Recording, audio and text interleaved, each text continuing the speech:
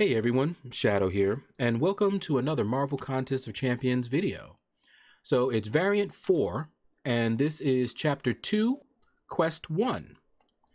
And I'm going to show you what I consider the easiest path for your initial clear.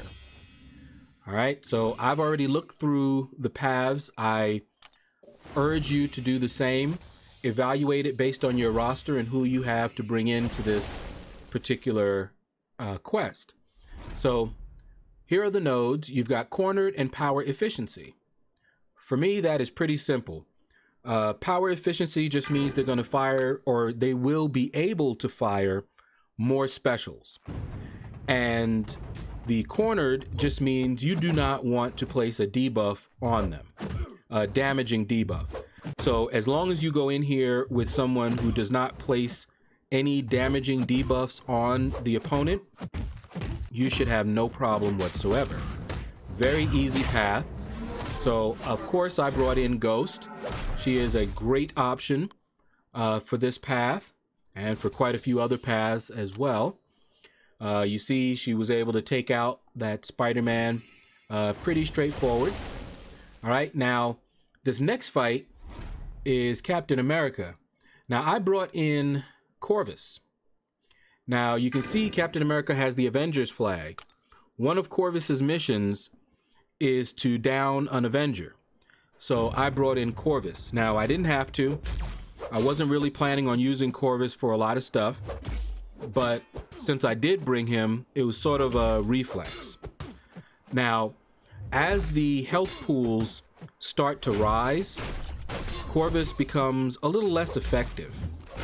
So eventually, if they keep going up, you're going to have to boost, run suicides, just so that you could maintain your effectiveness with Corvus.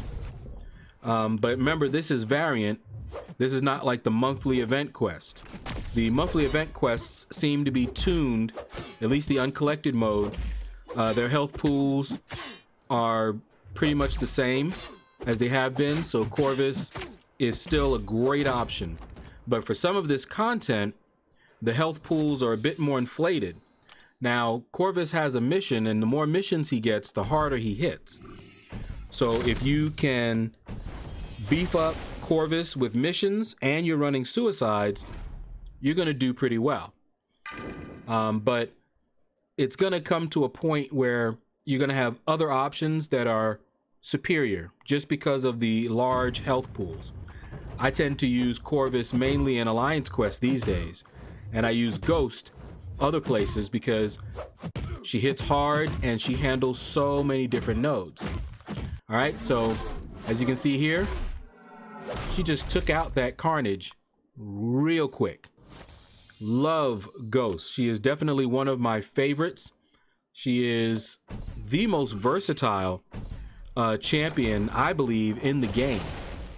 She can't handle everything, but she can handle most things. Now we got ambushed by this Moon Knight, but he doesn't have the cornered or the uh, power uh, efficiency or whatever it was. Uh, he's just a regular Moon Knight, but whenever you do this, you want to check the phase of the moon because Moon Knight gains abilities based on the real moon phases. So just look it up uh, online but the one that I hate the most is the one that gives him a high chance to evade. Really hate that one. Uh, he has another one where his attacks have a high chance to stun. So if you get hit, chances are you're going to get stun locked and wrecked. So you just want to kind of pay attention to that. I didn't look it up because I was pretty sure Ghost could handle it. All right, so down he went and we are on to the next fight. Now, this next fight, straightforward, again, pretty easy. It is Iron Man Infinity War. Now, I can use Ghost against him, but Corvus is such a great counter for him. Now, I already got a mission off of Captain America because he was an Avenger. Well, Iron Man Infinity War is also an Avenger, and he's a tech champion. Corvus gains a mission when he downs a tech champion. So even if I had not gotten a mission off of Captain America, I would have gotten two missions off of this. So Corvus is going to end up with two missions after this fight. Now, with the exception of one time, I've not really lost to Iron Man Infinity War with Corvus. Uh, you see I got caught there, but that shock damage, Corvus doesn't take damage from the shock. So it's actually going to heal me up a little bit. Like I said, he is a great option. You can see how many times I had to evade the specials. That's because of that node. All right, so here we go. And down he goes.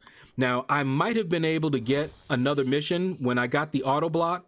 If I could have knocked him down without killing him, that would have been a third mission that Corvus would have gotten out of this. But it's all good. I wasn't really planning on using Corvus against the boss.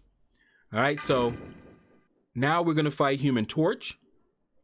Ghost is a great option here, of course. And when I first fought Human Torch with Ghost, I got wrecked.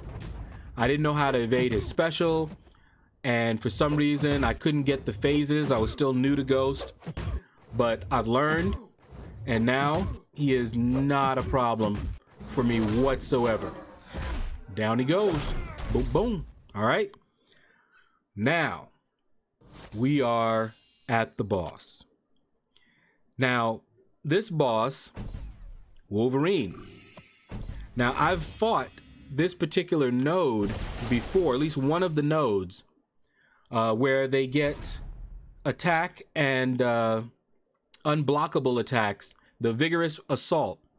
I've dealt with that before, so you just need to when they have a regen, just be careful. Uh, you see picture of health, they're immune to regen rate modification. I didn't see that at first, uh, or really I didn't read it very well. Uh, but when I see Wolverine and I think regen, I think void. Let me bring in a void. Now, in my other fights where I was exploring this, I just use Ghost. Perfectly fine. Uh, I don't think you need any particular counter for this Wolverine. You just need to play around that node. So you need to be careful. Once you see, like right here where he's regenning, all his attacks are unblockable. So you just need to either be attacking him or dance around so that you can just let that regen wear out. Okay? But this fight went uh, fairly well. You can see that I'm still doing damage, but I'm not really doing anything to his regen. That's because of that node. Otherwise, this fight would have been over much quicker. All right, so Void can do it, but he's not the best option for this fight. Uh, simply because if you're thinking of, you know, reversing the healing and all of that, not gonna happen. As you can see, we're not getting any extra damage on the heal reversal. Like you see that regen there, no extra damage. But Void is still placing his debuffs, and so we're still getting some damage.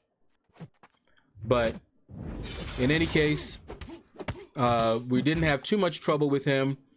Uh, you don't want to be too close to him when he uh, is regenning because he will catch you. All right, so you can see I just uh, tried to bait out specials if he's regenning like that. And I'm attacking and down he went. So not a difficult fight, pretty straightforward, all right? So take care, everybody. Hopefully this helps you guys out. Click like, subscribe, leave a comment. Let me know what you thought about the video. And you all have a blessed day.